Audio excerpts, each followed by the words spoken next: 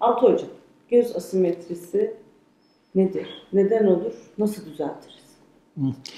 Ee, Instagram'dan gelen e, ya da e, bir şekilde internetten bana ulaşan hastaların en çok sorduğu şeylerden bir tanesi bu.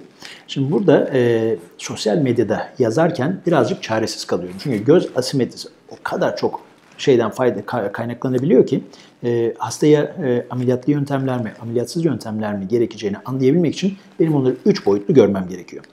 En basitinden göz asimetrisi diye algıladığımız şeylerin büyük çoğunluğu kapak düşüklüğüdür. Bir kapağın diğerinden daha aşağıda olmasıdır. Bazı hastalarda kapak o kadar düşük olmuyor ama kapağın üstündeki kısımdaki yağ yetersizliğinden bir boşluk oluyor.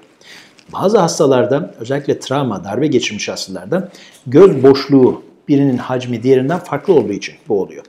Bazı hastalarda bu yapısal oluyor. Bazı hastalarda e, yine hem kapak hem kapak hareketi hem gözün kendisiyle ilgili problemler olabiliyor. Bunu anlamanın tek yolu hastayı üç boyutlu olarak görmek.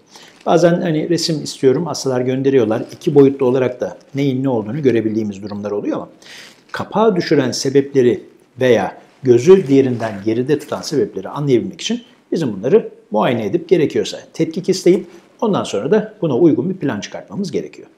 Yani şey doğru değil değil mi? Benim arkadaşım şunu yaptırmış, ben de ondan yaptırayım.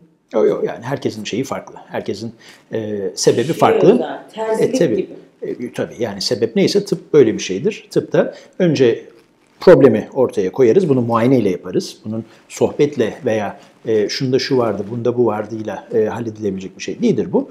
Muayene ederiz. Muayene ile problemi ortaya koyarız. Ondan sonra da çözüme yönelik e, bütün imkanlarımızı seferber ederiz.